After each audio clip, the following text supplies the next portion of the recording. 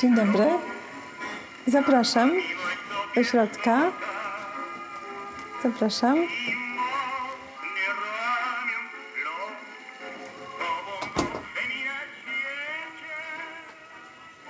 Zapraszam do środka, tutaj do, to jest gabinet mojego taty, biurko, przy którym pracował, Zygmunta Piątkiewicza. Tu jest y, portret babci Sabiny Piątkiewicz z Brodowskich. To jest mama mojego taty. No i tutaj właśnie mam jego rzeczy, jego pamiątki, które chciałabym opowiedzieć. Ten gramofon Ojciec miał chyba 16 lat, jak dostał w prezencie od y, swojego ojca, od Stefana Piątkiewicza. To był 29 rok, to był hicior, taki gramofon. Także sprawiał mojemu tacie dużo radości, zapraszał kolegów, kupował płyty. No i to zostało do dzisiaj.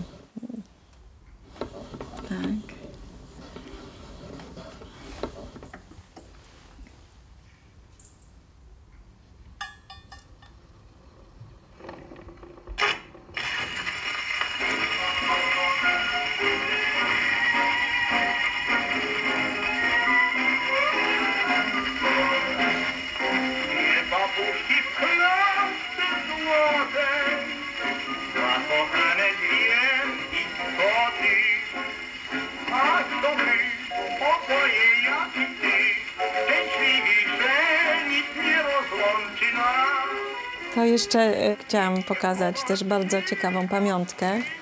To są pierwsze insygnia władzy sędziowskiej mojego dziadka Stefana Piątkiewicza w wyzwolonej Polsce po odzyskaniu niepodległości. Dziadek zaczął sprawować swój urząd w 23 roku. Wtedy sędziowie nie nosili jeszcze tłuk, tylko właśnie taką szarfę.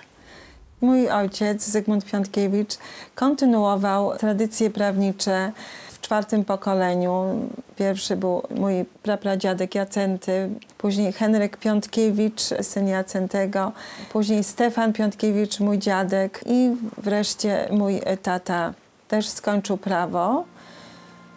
O, tutaj też takie fajne zdjęcie. To jest mój tata. Tutaj to jest też tych Bogudzienkach, to są kuzyni.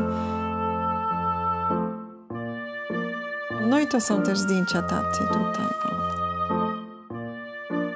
Po wojnie, po zakończeniu wojny rozpoczął tutaj e, w Krakowie swoją pracę. Jego powołaniem było być e, prokuratorem z tego względu, że chciał oskarżać zbrodniarzy hitlerowskich i właśnie e, jego pierwsza praca to była właśnie w Komisji Badania Zbrodni Hitlerowskich i Oskarżania byłych zbrodniarzy hitlerowskich. Mój tata poznał moją mamę. W 1953 roku się pobrali, w Zakopanym ją poznał. E, No i zamieszkali właśnie w Nowej Hucie. E, Zresztą mieszkanie, w którym obecnie się znajdujemy, właśnie to jest to mieszkanie i to było wcześniej mieszkanie służbowe, było y, właśnie organów prokuratury. Jeszcze jak rodzice się sp- sprowadzili, to nawet jeden pokój był zajęty przez urzędniczkę e, jeszcze z prokuratury. No i sprowadzili się tu w 1955 roku, bo wtedy otrzymali to mieszkanie i ja się urodziłam w rok później. Także wszystko zostało skrzętnie zaplanowane. O, pokażę teraz zdjęcia związane z Nową Hutą. I tutaj e, bardzo fajne zdjęcie, na przykład moich rodziców y, w Alei Róż.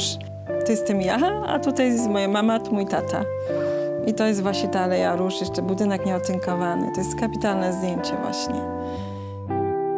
Ojciec już y, mieszkając w Nowej Hucie zaczął prowadzić, to była sprawa Mazurkiewicza, słynnego tego mordercy Władysława Mazurkiewicza, słynny proces w 1956 roku. Ja się urodziłam y, w maju, a tata miał te mowy oskarżycielskie w czerwcu. Nawet, oj, tu chyba jest nawet takie zdjęcie z tego procesu. To jest właśnie zdjęcie i tutaj byli oskarżycielami mój tata Zygmunt Piątkiewicz i pan Brandys. No i później też głośna była sprawa Wójcika, który udawał, że jest lekarzem. Mm, Wójcika Zdanowicza, no i, najgłoś, i bardzo głośna sprawa e, Karola Kota, e, który e, to gdzieś 63 rok, który mordował y, no, dzieci i, i staruszki, napadał. Był nazywany wampirem krakowskim, który siał postrach na cały Kraków. Wszyscy się wtedy rzeczywiście bali wychodzić z domu. Tata oczywiście realizował się jako prokurator, mm, no ale praca wymagająca i też niebezpieczna, ponieważ no, też y, zdarzało się, że tata dostawał anonimy, że mu dziecko porwą. Nie do końca sobie zdawałam z tego wszystkiego sprawę. No więc czułam, że coś jest nie tak i miałam tego świadomość. No i pewnie dlatego też w przyszłości no, nie wybrałam też tego zawodu, nie, nie poszłam na prawo, bo, no bo jednak cały czas był taki dyskomfort. Wiem, że w konsekwencji ta, tacie było trochę przykro, że, że właśnie nie, nie przedłużyłam tej, tej linii prawniczej.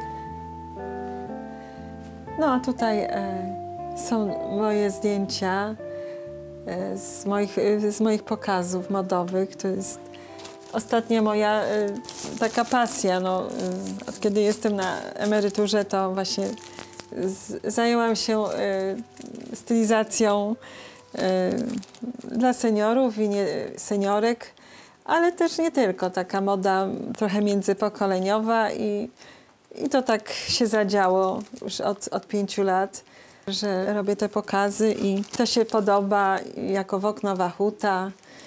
No i to jest, to daje mi tak, takie poczucie spełnienia.